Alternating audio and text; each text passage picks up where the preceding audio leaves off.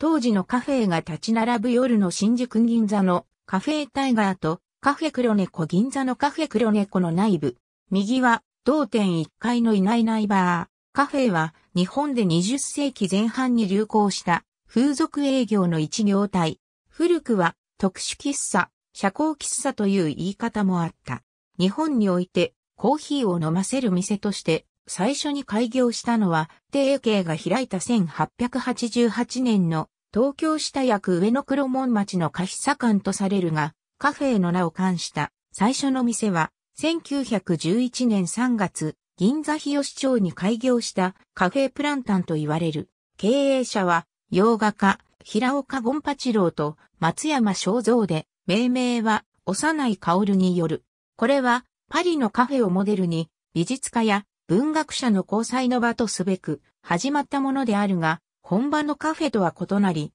女給を置いていた。プランタンなどはインテリ向けの店で、一般大衆は入りにくかったと言われる。プランタンに続き、同年8月には美人女給を揃えたカフェライオン。同じく11月にはカフェパウリスタが開業し、大正末には全国に普及した。プランタン、ライオンは料理を出すバーといった趣で、パウリスタは女給を置かず、当初はコーヒーと菓子だけの店だったが後に料理も出すようになった。カフェを関する店が増えるが、この頃のカフェはまだ料理、コーヒー、酒が主であり、後年のような風俗営業とは同列にできない。カフェがもっぱら女給のサービスを売り物にするようになったのは関東大震災後とみられる。震災の翌年、銀座に開業したカフェタイガーは女給の化粧、着物が派手で客に体をすりつけて話をするといったサービスで人気を博した。昭和に入り、大阪の大型カフェの進出により、銀座は今や大阪エロの洪水という状態で、女給は単なる給仕というより、現在で言えば、ホステスの役割を果たすことになった。ちなみに、当時の女給は多くの場合無給であり、もっぱら客が支払うチップが収入源だった。1933年には特殊飲食店営業取締規則により、カフェは風俗営業として警察の管轄下に置かれることになった。昭和初期のエログロナンセンスの世相の中、夜の街を彩る存在として、カフェは小説などの舞台にもなった。当時のカフェを描いた小説として、長井家風、梅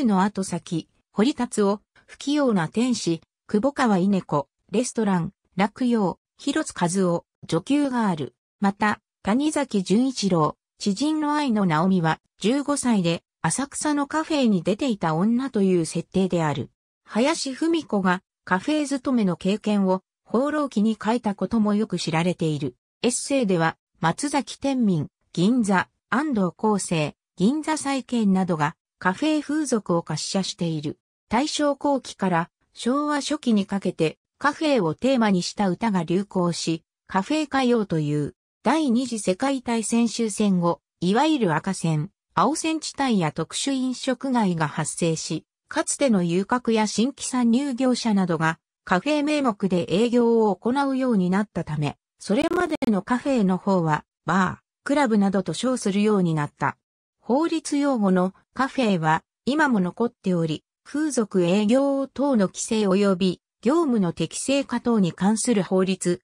第2条第1項第2号には、待合、料理店、カフェその他設備を設けて、客の接待をして客に有給または飲食をさせる営業という規定がある。なお、純喫茶という故障があるが、これは種類の提供、女給の接待